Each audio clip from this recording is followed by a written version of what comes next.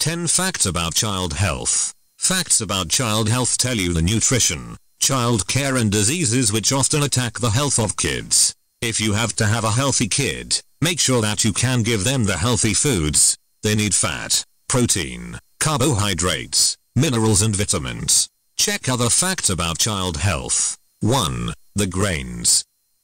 You can serve the kids with the whole grains such as quinoa, oatmeal, whole wheat bread and red rice. 2. The protein. Don't forget to serve protein for kids. You can give them soy products, eggs, beans, poultry, lean meat, seafood, unsalted nuts, peas and seeds. 3. The fruits and vegetables.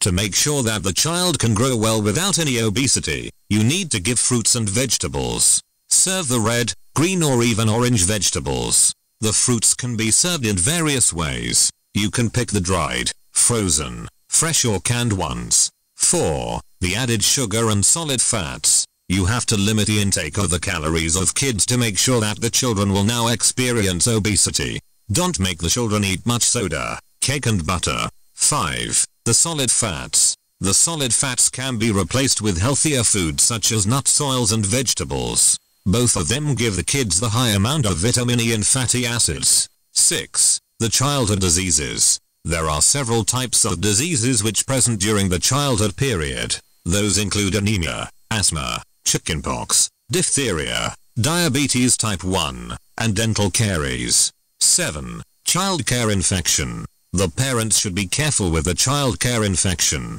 It can infect the children when they have contact with other children in school or daycare. 8. The infectious disease. The infectious disease is easier to spread among the kids in the childcare environment when they have contact with others. 9. The common childcare diseases. One of the common diseases spreading in childcare environment is diarrhea. The influenza-like illnesses is prevalent too. 10. Hand washing. Hand washing is one of the important things to do by children to cut the spread of the disease. Ask them to wash their hands after using the toilet and before eat the meals. Don't forget to improve the hygiene of the children to make them healthy. What do you think on facts about child health? If you liked the video, do not forget to subscribe in the channel, and participation in social networking sites.